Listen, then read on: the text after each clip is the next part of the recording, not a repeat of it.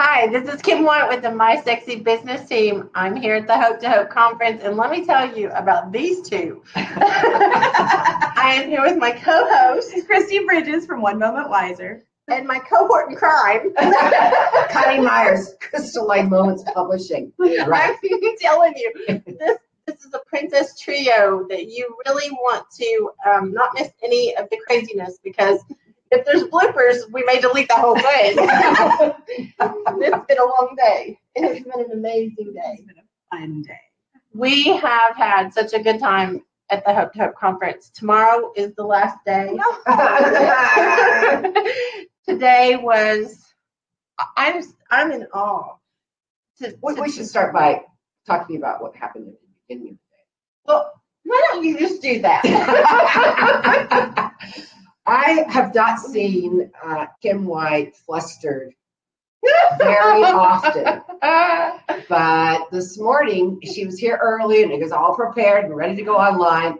And Three as- hours early. three hours early, and then all of a sudden, just as we're supposed to go live, At the stroke of nine. at the stroke of nine, the computer dies. It says, please wait, updating now.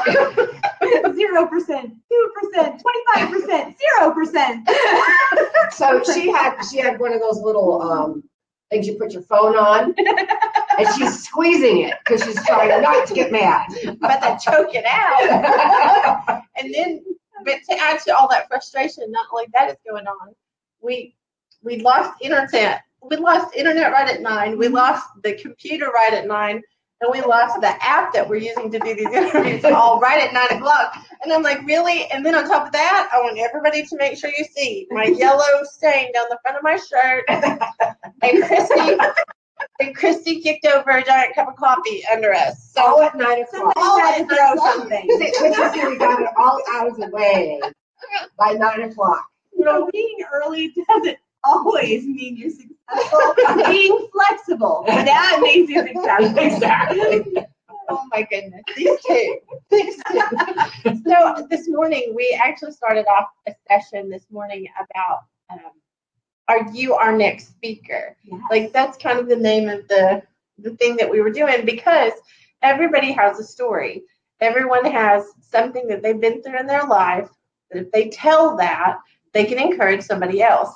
And we are encouraging you to do that to find your hope to hope story. even if you only tell, you know, someone in your family, or even if you only tell, you know, one person, it's worth the effort. But I'm believing there are people out there that will be our future speakers on Hope to Hope. They will have their own tale to tell. And I think that's really important. And I see one of them that better, like, hey, nephew. All right. um, Lewis Cole is actually one of those ones that needs to get his story together because he is going places, and we are we are loving watching that. But Kristi gave a class this morning. Uh, well, a summary, A little workshop. a workshop, just to help you get started on writing your story. So if you missed it, go back and do that. Yeah. and- And look at the comments because the steps are in the comments, but listen to it too because you'll get some ideas for your own story. You have a story, even if you think you're boring or even if you think, oh, I'm not a writer, it doesn't matter. Start telling that story. And, and, and you want to start telling your story because we have these things happen in our lives because we're supposed to pass them on. Yeah. That- so there's always an opportunity to share with somebody, and it could be a, just another person, or it could be with everybody on Hope to Hope, or it could be that maybe you've got a story to tell that you haven't finished the answer, you haven't caught the conclusion, and maybe there was somebody on Hope to Hope that might be able to help you. Mm-hmm. So share your stories, even if it's just with one other person, because you're going to make a difference. Yes. And you know, make sure you share your story because you never know who's in the house. She's a couple here. Just saying. you never know. so I think that that's really important advice that we gave, which is to tell your story. Mm-hmm. Now, session number two was, and I am like so tired. I'm so sorry. It Wait, that was Meg. Meg. That was my friend Meg Weinkoff, who is, I tell you what, I know, Meg, if you're listening, that you're going into ecclesiastical leadership. But I will vote for you someday. I've told these girls Meg is is a president I'd love to have. So, you know, just throwing Just that out there. Just saying. Meg, you did such a fine job. And if you didn't watch Meg, you need to go back. She went through a lot of stuff that she did not get into um, very deeply on the interview, but she's got a lot more to tell. She's got a lot more underlying um, damage that happened in her life, things that were hard. and restoration she came through. sought. Yes. I don't know how, I don't know how old Meg is, but I, I was really impressed with the fact that she has just started on her uh, PhD for ecclesiastical Leadership, leadership, organizational leadership. organizational leadership. That's right. And uh, that, that's taking on something, you know, that I think, is- I, she- yeah, I think she could run for a lot of things. And she has already started several businesses. She's a coach, a good coach, and she has um, the Faithful Leader is her most recent business that I just I think is is coming off the ground with flying colors. But she also is not all about herself, and and we love people, love people who are giving back purposefully, even as they're creating something that will sustain themselves Yeah. they're looking to serve others in their businesses and in their side endeavors. And she is really got a heart for fighting sex trafficking and rescuing, rehabilitating those who've been involved in that. She has a, a run coming up. Actually, it's on my birthday, October 14th. Nice. So guess where I'm going to be? Yeah. Um, it's going to be, it's called Walk for Freedom. Mm-hmm. And I was looking online about it. It's in, it's in 300 locations and there's several countries as well as throughout the United States. And what was interesting is they all walk in a single line with uh, tape, black tape over their mouth, and they all wear black to uh, to really make a statement about how this has to end. About the boys' house. It- We make judgments based on what we see in movies, and that particular lifestyle is not always a choice, and it uh, it's damaging. So I'm I'm totally going to be with you, walking for freedom. I, I think it's one of the, the most horrific things that is happening in this country. I, I represent some organizations in Las Vegas because it's a huge problem there, Mhm. and the stories are just horrific. Yeah, I'm sure it is a huge problem there. That would be, Yeah, it is. oh, wow. Well, we just have had some real power people today, just people who are actively changing the world. And I love that. Actually, Yes. all week, I there has not been a day that I haven't been able to say that. I just Yeah. love it. Oh, yeah. So who did we have next? Your friend. Yes. Yes. Um. Oh, I can't think of her name now. Um, I'm having, oh, Angela Stewart. Angela, yes. whirlwind. Oh my gosh, Angela, she was so fun. oh my gosh. Oh my gosh. With her dinosaur noises. She has she has the vulnerable warrior, Yes. and what a story she had to tell. Here's the Heartbreaking story. Angela is, you know, you look at her and she's got her stuff together. And you look at her is and think, amazing. on the outside, you know, you look and think she's never been through anything, you know, she's spoiled or she's this or she's perfect. And the truth is, she went through a lot from the time she was really little. She went through a lot of things.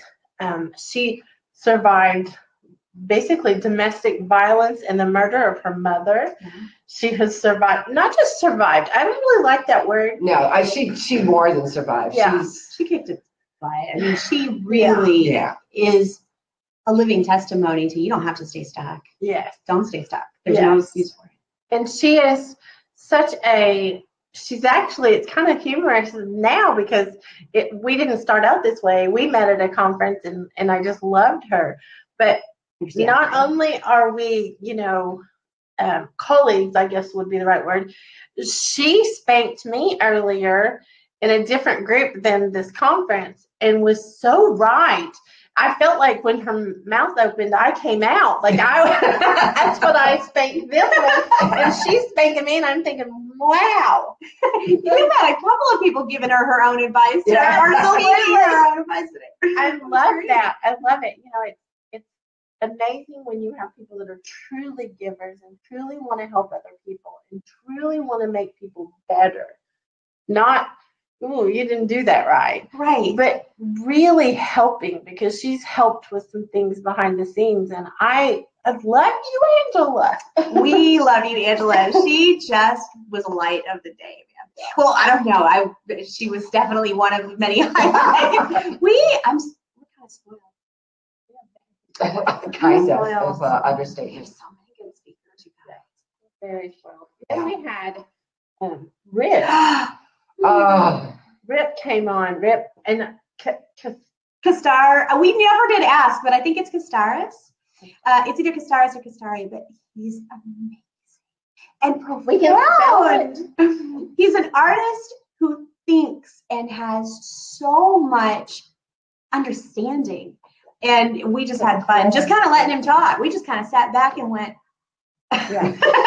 great, great wisdom. Yeah, Yeah. you can make us be quiet. You really are. Right? right now he's in the middle of a project at a Greek Orthodox church where he's painting a mural on the ceiling. yeah, it's Ukrainian. Oh, it's. Ukrainian. It is. He's Greek Orthodox, but the the icons are similar. Uh-huh. And he said even the services are kind of similar, but it's so neat to see this gorgeous cathedral that they've built.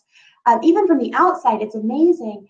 But on the inside, he said they've been working on this cathedral for 32 years. And guys, I guarantee that this church doesn't spend all their money just making the place pretty. They help a lot of immigrants and people, but they are aware that art and the passion that comes with it should be used to to bring glory to our creator we we are creative because we were created by a genius and i love it I think one of my favorite parts he said though was so so adorable. I asked him how he had started painting, and he talked about being in kindergarten, and he figured out that he could paint and he wouldn't have to take a nap. and I thought, I I love that because you know napping is just you know for the faint of heart. and and if you're five or you know six or whatever age it is for kindergarten, and you can get out taking a nap by painting, and now look at him painting And later on- later on he had another teacher who who needed to get a slide presentation made so he could get out of his homework if he helped her with getting the illustrations done. And you know he isn't a slacker though. Even in college he he knew he had to actually do some studying and so he didn't care what grade level the classes were. He asked his friends what really stirred you so that he could take classes that would keep his interest and his passion and and he has used that passion in lots of, of artistic ways now just amazing There's, pretty there's links on his, um, in his, in his interview to some of the artwork that he's done to his gallery on his website and, and a video about this latest project, so. and check out the st louis mural Oh my It gosh, is Just for. beautiful. He's got lots of stuff on his page. Connect with him too because you will enjoy, if nothing else, looking through the beautiful pieces. oh yeah And then we had martin Elena. oh, well, I'm pretty sure that we're related. I don't know how that works since she was born in Russia, but I'm pretty sure that we're related because I was listening to her and laughing because she stole all your lines she's a friend of Miss Coni's, and Miss Coni has been telling me since she met her, you've got to meet her. She says this, you know, the same stuff, and I'm thinking, yeah, yeah, yeah. And I was telling her the same thing. I was telling Alina, I go, you've got to meet Kim. You've got to meet Kim. So when we, she got on, she goes, oh, you're the one. and so we had a blast with her. She did so amazing at talking about stuff. She actually um, talked about following your passion and actually living now instead of later. Mhm. She talked about starting um, a business, but I, I'm telling you, that's going to be one of my all-time favorite stories ever. She started a business because her friend called. She was coming to America and she needed a job, and so she didn't have a job for her. She didn't want to work for her. She said she'd do anything for her. She would give it to her. The friend did, Mhm. and so she, she had to create a company so that she could hire her friend, so her friend would take a check to be able to have a job.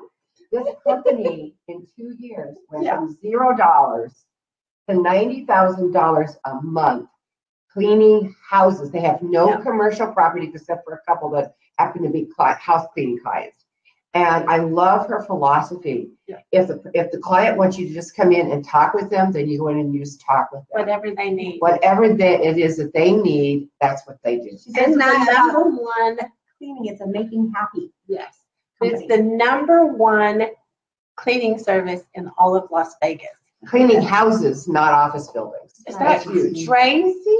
That, that's like huge. And then, because that wasn't enough, she went on and talked about she wanted um, something for energy and, and she ate an energy drink, but she didn't, and she gave the kind of the reasons of why sh- she couldn't find anything that she was looking for.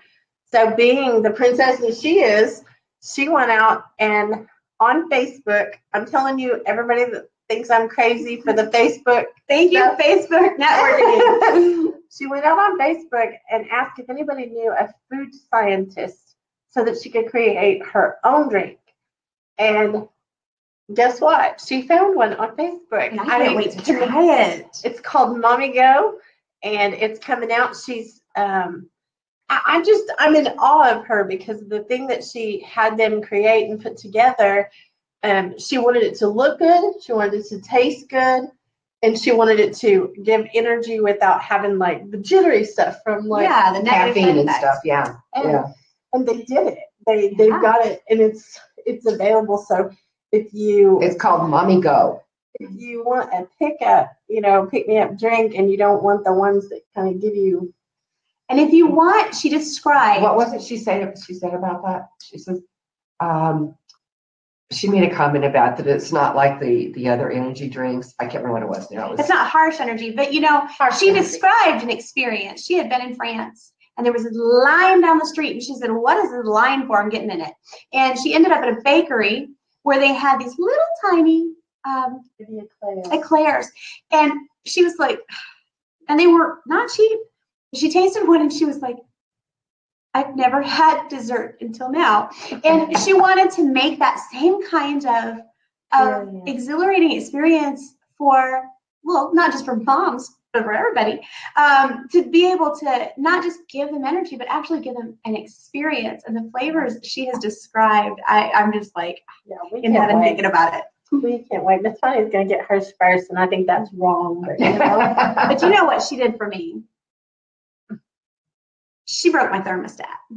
You know, we have this this I'll go this far and then I'll give up thermostat in us. Everybody's set differently. But at the end of her interview, she told about saving the lives of 100 kids who were inevitably going to die painfully if somebody didn't do something and she heard no no no no no and she had a lot of people go oh we'll pray for you but no not going to help and and so she just had to keep pushing forward because she couldn't imagine living 40 more years of her life knowing the 100 kids weren't able to and this And- is a specific group of kids. she Like, shattered my thermostat because Yeah. how often do we go gosh well there's nothing more i can do every door that was closed in her face, she would just go back. And she she would go above. and she go would above. say, this is just not acceptable. Yeah, not this is not acceptable. so smash your thermostat Yeah. Yeah. it was really cute though because she she got fired up and and she actually was talking about something that we talk about all the time that everybody doesn't get a handle on because they're so afraid that they're going to be taken advantage of and that is the collaboration she had some some of the people they were really gifted and talented at something but they had no clue how to raise money and so they would go in and they would try to do that and they'd mess everything up because they weren't doing what they were good at. And so she made a deal with them that you go do the thing you're good at and I'll raise the money. like, I can't save 100 kids, but I can raise money and you can save 100 kids. You know, let's, let's do what we're good at. it was really, Yes. Really good. So go back and if you can tip of that. And then we had one of my sweet friends, one of my dear, dear friends, Martin Maynard on. Um, Martin is somebody that is just, he has gone from being shy, which he shouldn't have been because I'm telling you, he he's got such a powerful message to tell the world. Um, he was abused as a child, and I'm not telling secrets. These are things that he's he's He said, said. yeah. Um, but he was abused as a child in horrific ways. And I look at him and I think there are very few men that stand up and will say that because we've taught our boys to, you know, to suck it up and, and not cry and not talk about that stuff. And the truth is, there are a lot of men out there that have been damaged and hurt and abused that need to be able to use their voice, need to be able to tell their story. And he is one of those, oh, he'll just be my friend forever. He may not like me forever, strong. but you know. Wow, very strong. Oh my goodness. he did a great job of talking about um, he actually lost um, his big daughter to SIDS. And, you know, they still don't understand what that even is. Like, we don't even know how to cope with that. It, it's like an unknown killer. And so he talked about that and the relationship him and his wife went through and the difficulties. And um, he's just, he's incredible. He's a distinguished Toastmaster, which is the highest ranking Toastmaster. And he's gone on to do incredible things. He's the senior, I called him the wrong thing. He's the senior. Designer. designer um, for a major electric company. Um, he just he's incredible, but he has such a tender heart. That's the one thing that I want you to like really know about him. He's so tender hearted. So if you have if you're a man, like most of this conference has because I am a woman. Mm-hmm. I mean, that's the thing. I have a lot of women in my circle. I have some men too, but most of the speakers have been women. I want to encourage you if you're a man out there and you've lost a child, you know, go go reach out to Martin. Martin's very, very kind about he will happily, you know, Well, he was talking about how uh, after they lost his daughter, that he felt he had to be the strong one. So he didn't have any outlet for his grief and how, and he didn't know how to deal with his grief because he was trying to be strong for his wife and his family. Yeah. And that's a very difficult thing. Very difficult. and he's got such a way of being able to articulate, you know, and explain those things. So please do reach out. And then the last session was with these three crazy princesses. I am telling you, we are so blessed because this this has been amazing. We don't want to like wear you all out because if you have been watching all of them, there are a lot of hours of video. But I I can't tell you the grand total. I haven't gotten it for today, but I'm talking thousands and thousands of people have already gotten on, And and we appreciate you. we appreciate very you much. so We much. you. The reason that we're here, the reason that we're here is for you. Like the reason that we do this is to facilitate access, opportunity and access for you to be able to reach out to people that can change your lives. And I believe everybody that has been on the Hope to Hope and everybody coming up, I believe every one of them are world changers. So if you are going through a rough time, if you have been through a rough time, please connect. Please connect with this group of people. I think there's there's a word you use that I've been hashtagging all along called broken open. Mm-hmm. I mean, each and every one of the people who've been on here in one way or another Mhm. have been broken open. And that just means you open your heart, you open your soul, and it's all about giving because when you Mhm. give, first of all, it makes you feel awfully good. Yes. And second of all, you really do make a difference in somebody else's life. And that light just sprays all over the room. I love it. Yeah. Well, broken open changes your capacity. Yeah. Like the capacity that you have to care about another human being is actually enlarged when you are broken open by a loss or a hurt or an abuse or whatever it is. None of those things we want to happen. No. We don't want those things to happen, but they do cause us to be enlarged in our capacity to love and care about other people if we allow it. So, I think Alina was a, when she was saying that, you know, she she didn't really ask to try and help these hundred kids, it, but she couldn't live with herself if she didn't help them. Yeah. And she was broken open by the fact she kept trying to give them away to somebody else to, to be responsible, Yeah. but uh, she was broken open so that she did step in and she made a difference in those hundred kids' lives. so we're going to be back tomorrow. We have another full day tomorrow and the, the fourth day of the Hope to Hope conference for March 2018. It's hard to believe that it's it it's almost like No, don't say it. it's getting, it's getting closer. I'll say that it's getting closer. so if you have any questions, please get on a message. Please message our speakers, message us, whatever, whoever you need to connect with. Don't stay isolated and don't try to do life alone because it's so much better together. I'm Kim White with the My Sexy Business team. I'm Kristi Bridges with One Moment Wiser. And I'm Coni Meyers with Crystal Moment Publishing. All right. And we will see you tomorrow on the Hope to Hope conference. Love you guys.